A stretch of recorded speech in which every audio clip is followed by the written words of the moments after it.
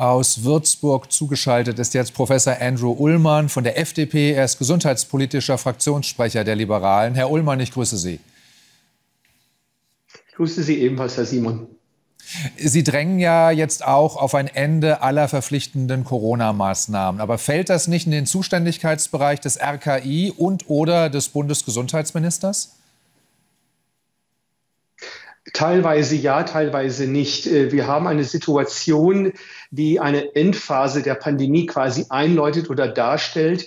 Wir haben zwar immer noch Infektionen, aber eine Überlastung des Gesundheitssystems wegen schwerer Erkrankungen existiert nicht. Wir haben nach wie vor niedrige Fallzahlen von schwer erkrankten Menschen wegen Covid in den Krankenhäusern.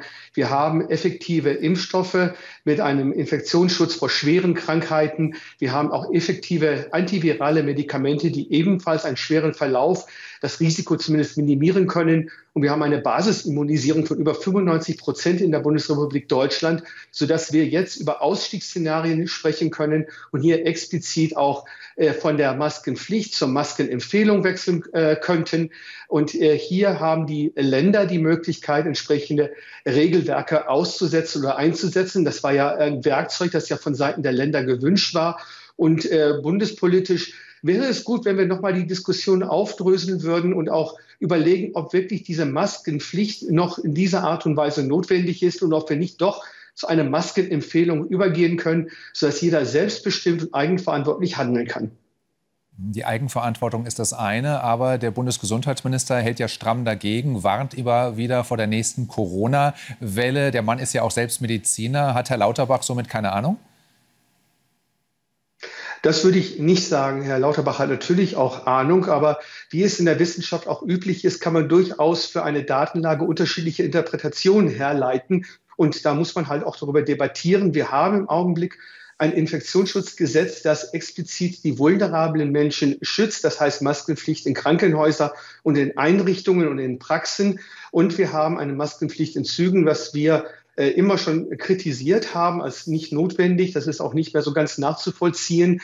Aber genau in den vulnerablen äh, Bereichen, wo Menschen dort vor allem häufiger vorkommen, müssen wir nach wie vor, das ist auch unsere Pflicht, äh, zu schützen. Aber ich bin überzeugt, dass die Wellen, die wir erleben werden, Infektionswellen ausschließlich sind, wie wir es jedes Jahr zum Winter her kennen, ob jetzt Erkältungsviren oder auch Grippenviren. Äh, deshalb äh, können wir eigentlich die verpflichtenden staatlichen vorgesehenen Maßnahmen auslaufen lassen und da übergehen wir bis all die Jahre immer hatten, dass hier ein Selbstschutz immer natürlich möglich ist durch entsprechend eigenverantwortliches Handeln. Äh, und auch das selbstbestimmte Handeln ist hier essentiell wichtig. Und äh, meine Sorge, muss ich ganz klar sagen, ist eher Richtung Grippe als mit Covid-19, denn da könnten wir durchaus da eine größere Welle erwarten in diesem Jahr. Mhm. Einige Bundesländer sehen das ja offenbar genauso wie Sie und äh, kippen die Isolationspflicht für Corona positiv getestete Menschen, so jetzt wie etwa heute Schleswig-Holstein. Hamburg dagegen hält an den Maßnahmen weiter fest. Wie sollen damit Berufspendler umgehen oder Menschen, die zwischen Hamburg und Schleswig-Holstein hin und her fahren? Da dürfte es ja einige geben. Ja, wir haben halt äh, in Deutschland eine föderalistische Struktur und da äh, ist Gesundheit jeweils Länderverantwortung. Es ist natürlich schade, dass wir gerade beim Isolations- oder staatlich fixierte Isolationspflicht hier nicht einer einheitlichen Regelwerk nachgehen können. Es wäre so einfach. Wer krank ist, bleibt natürlich zu Hause, kriegt eine Krankschreibung, isoliert sich dadurch auch automatisch von der äh, äh, anderen Bevölkerung heraus. Und äh, wer nicht krank ist und zufällig positiv getestet wurde, sollte sich ärztlich evaluieren lassen, ob eine Isolierung oder eine Krankschreibung notwendig ist oder nicht. Das hängt natürlich auch vom Beruf ab. Das wäre eigentlich eine normale Situation, wie es all die Jahre oder Jahrzehnte immer praktiziert wurde. Das ist eine reine medizinische Entscheidung sein soll und nicht ein Automatismus von Seiten des Staates vorgegeben ist. Vielleicht noch mal ganz kurz. Ähm, aber wir haben natürlich jetzt die Situation, dass einige Bundesländer das so handhaben und die anderen so. Bei der Maskenpflicht im öffentlichen Nahverkehr, da denken jetzt auch einige Bundesländer darüber nach, die Maske halt eben fallen zu lassen. Aber dann haben wir doch gerade diesen Flickenteppich. Wie sollen die Bürger damit noch umgehen? Wäre es nicht besser, alle ziehen am einem Strang?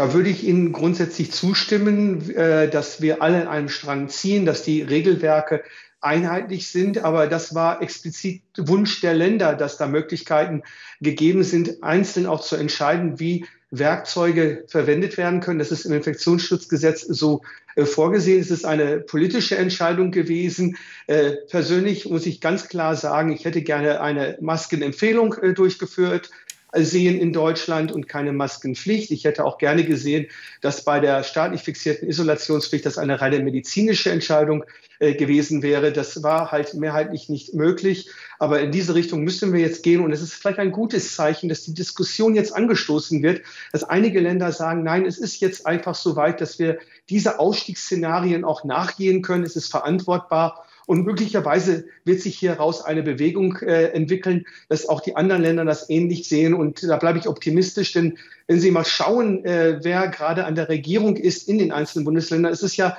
durch den verschiedenen Parteispektren ja auch vorhanden, sodass hier die Möglichkeit besteht, dass in ein paar Wochen das vielleicht doch ganz anders aussehen wird und dann wir doch einheitlich unterwegs sind. Sagt Professor Andrew Ullmann von der FDP. Vielen Dank für das Gespräch. Dankeschön.